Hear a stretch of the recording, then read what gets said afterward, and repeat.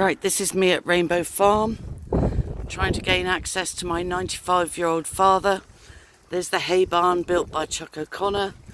This is me knocking on the kitchen door. I've already videoed going to my father's bungalow, which is locked and unresponsive. Here's me banging at the back door of Rainbow Farm with no response. Let's try the side door, which is rarely used as is customary in Ireland. My sister has my 95 year old father who asked me on his deathbed, confined and imprisoned. Let me ring the bell. There's no bell. Just to confirm where we are.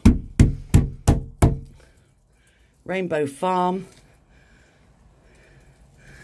Pillar of the community ex-secretary of the hunt. I will be calling the guards to demand access to my own father. Just to confirm, there's the outdoor arena, there's Chuck's painting, there's whatever kennels my sister has built, and let's get this uploaded. Anne-Marie Galligan, you're a disgrace and you are guilty of elder abuse and financial abuse and whatever else.